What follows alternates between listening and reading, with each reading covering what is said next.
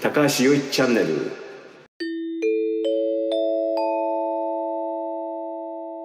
府県合併がない理由を教えてください。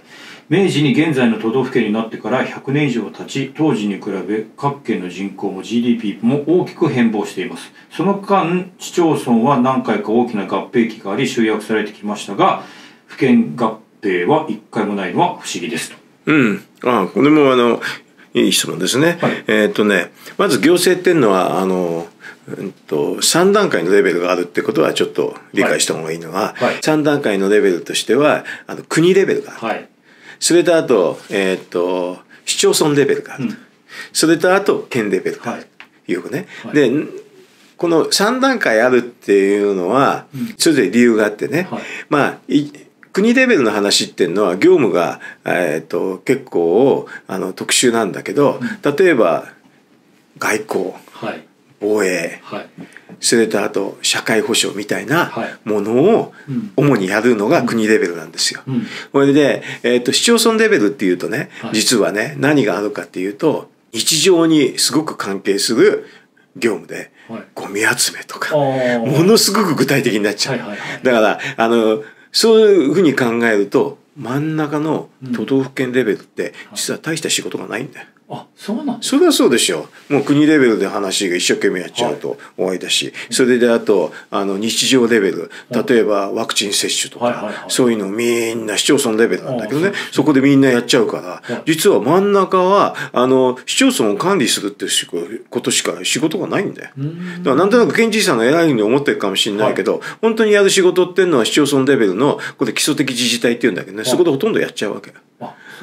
例えばと選挙の事務ね、なんかだとみんな市町村でやってるじゃない。はいはいはいはいはい。で学校かなんかだって区立とか市町村のあの学校からいろいろ来るじゃない。でワクチン接種券もそこから来るじゃない。はい。大体都道府県から来ることなんてほとんどないですよ。まあそうですね、うん、少ないんだよ、ん。だから逆に言うと市町村レベルの基礎的自治体と国レベルの仕事ってんでほとんど終わっちゃうから、だからあの国レベルはまあ開廃はないけど市町村レベルではうまいことあのやるためにえー、と市町村レベルである程度仕事するためには実はね人口が30万ぐらいいないとなかなか、えー、と結構効率的にできないっていう研究があるんですけどね。それは結構ある程度大きくなきゃいけないと、はい。だからあの昔の市町村はちっちゃすぎるってんで市町村が合併したわけん。で県レベルがなぜないかっていうと、はい。業務ほとんどないからなんで やることはあんまりないから。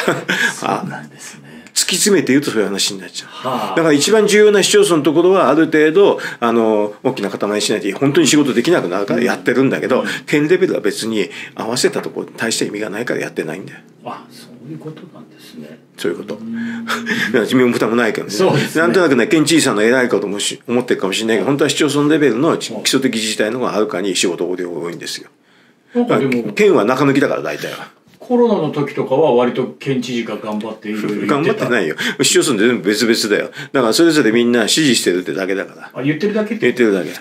実際やってるのは一生懸命やってるのはみんな市町村レベルの人がやってるわけ。だからあの、うん掛け声かけたりするする役割だけなんだよ。あのなんとか宣言も県単位で一応出してますそう。一応県単位に出してるんだけど、実際仕事するのはみんな市町村なの。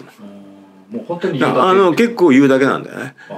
あそう。だから案外、あの、市町村レベル、県レベルは、実はあんまり中抜きされてるから、あんまり意味がないんだよ。で、それが、それが最たるものっていうのは、例えばね、神奈川県なんか見てるとよくわかるんだけど、はい基礎的自治体が大きくたって、神奈川県知事なんてほとんど意味ないんだよね。意味ないんですか？だってそうでしょう。横浜があるんだよはい神奈川には、はい川崎があるわけ。はいあと相模原がある。これみんな基礎的自治体なんだよね。はいここのところは県知事さんやることないもん。はいだから県知事、神奈川県知事さんがやるのはね、箱根の監督だけなんだ。だって、だって基礎的自治体が大きくなっちゃって、あの、他のやるところないんだもん。県知事さんは。だから基礎的自治体が大きいところは実は県知事さんほとんどやることなくて。うん。だから神奈川県知事さんなんて監督どこですかって言うと箱根だけですって言うよ。だって横浜市なんて300人ぐらいいるから、はいうん、うん、そこではもうそこの横浜市長のはるかに権限大きいしやってることも大きいもん。え東京都とかはどう東京都だけはちょっと例外なんだけど、はい。まあ23区があるあって、はい。まあそこは権限が横浜市とかそこまで大きくないんだよ。あ。そうするとある程度東京都も出番があって都営地下鉄とかそういう出番があるでしょ。あのだから東京都はちょっとあの自治体の中だけ中ではちょっと変わってるところなんだけどね。東京都さんの知事さんはちょっと出番が大きいわけ。それはあの区区の区長さんがそんなに権限がないからなんだけどね、うん、他のところはみんな政令都市があるところは、その県知事さんよりそっちの方がパワーがありますよ。システムとしてはどっちの方がいいんですか？その東京都型と県型まあこれはうんケースバイケースだねはっきり言えばね。のうん、まあケースバイケースだけどなんか大阪市なんかだとあれだよね橋本さんは最初大阪府知事やったんだけど、大阪府知事は仕事ないって分かったから 市長やったんだよ。あそういうことですそりゃそうだよ。だからあれみんな、あれに違和感を思いって思ってる人ってのは仕事も分かってない人で、あの県知事さんの方形なんだよ。ああ、うん、だから本当のところはししし大阪市の方はあの牛耳ってできるから。だから今だって維新だったでしょ？松井さんはさ大阪市長やってるわけじゃん、ね。おおかしいでしょ？トップが。だからそれはでもはっきり言ってどっちが仕事やってるかってことだからね。あもうそういうところ分かってるからだよ、うん、ああそうなんでそれはそうだよ。だから県知事さんって案外飾りなんだはっきり言うと。だからあの仕事そんなにしてないから実はあの設立になってね、はい。合併しようとかそういう話が出てこないんだよこの府県合併っていうのとうん。同州制っていうのは、うん。ちょっと考え方全然違う感じですか？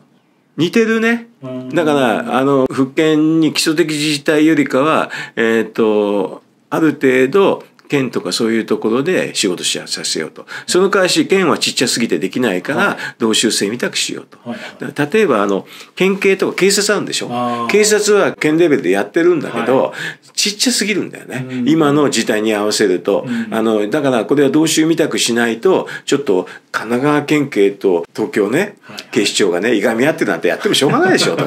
もうちょっと広げて関東ぐらいに大きくしないと難しいでしょっていうので同州制っていうのはあるだから同州制っていうのは今の県の機能っていうのをもうちょっと広域化してはい。きちっとやりましょうってそういう発想なんだよね。そう。すると結構意味が出てくはいると思うんだけど今のは県はちっちゃすぎてはい。あんまり意味ないんだよね。えー。同州制って一瞬なんか議論パッと出ましたけど最近全然聞かなくなりましたよね流れとしては、はい。あのえーっと県レベルではもう小さすぎてあの仕事しないっていうのはだんだん明らかになってくるんじゃないか、それが明らかになってくると最終的には県レベルの合併って話は同州制になるんじゃないかな。うん今のところ県はだから仕事しないから別にあのいいやっていうことなんだけど広域行政では多少ねやっぱり支障が出てきてるよね。道路とかはい。作るときに県道だけで全部話無理だもんね。うん、それはだからもうちょっと道路とか社会インフラをきちんとやるっていう議論が出てくると県レベルはちっちゃすぎてダメでその県レベルの合併っていう意味でね同州制っていうのは出てくると思うけどね。だからまだそこまでは出てないってそれだけで。それに行くにはもうちょっとの時間がかかるかもしれないしね。でもあの切羽詰まっていくとだんだん出てくるからね。うんあの同州レベルっていうかもうちょっと広域的にやった方がいい行政っていうのは何個かあるんですよ。う。んまあ社会インフラが一番大きいかな。だからそういう議論が出てくるとあのこの方の言ったように、はい。えー、といろんな市町村レベルであって今県レベルはなぜないんですかっていうと、まあそういうような広域レベルの行政を効率的にやるっていう議論があんまり欠けてるからっていう答えになるんだけどね。8月20日公開収録をいたします。皆さんぜひ来てください。よろしくお願いします。